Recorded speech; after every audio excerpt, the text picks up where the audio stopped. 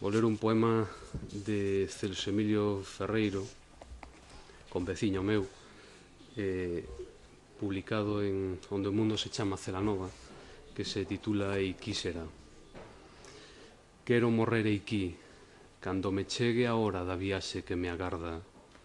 Eiquí niste silencio de pombas arruladas, niste vento que dorme nos piñeiros un profundo soño de arelanzas. Quero morrer aquí cos ollos postos no fumegar das tellas, na borralla do tempo frente a frente de min, aberta e alma aos latexos das horas, nunha tarde ateigada de arpas.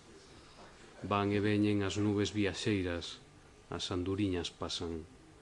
O pandeiro da chuvia repinica unha maina melodía de outono que no roncón do río se acompasa.